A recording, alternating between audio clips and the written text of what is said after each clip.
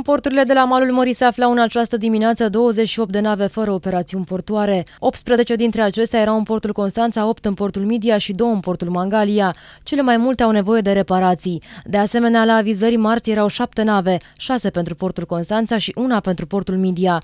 Potrivit buletinului informativ al Companiei Naționale Administrația Porturilor Maritime, pe 19 iulie 48 de nave erau sub operare. 42 se aflau în portul Constanța, 5 în portul Midia și una în portul Mangalia. Acestea aveau de încărcat sau descărcat în mare parte fier vechi, containere, cereale, îngrășăminte sau laminate. În rada portului Constanța se aflau marți dimineață 37 de nave. Dintre acestea, 27 așteptau pentru operare, iar 10 nu aveau operațiuni portoare.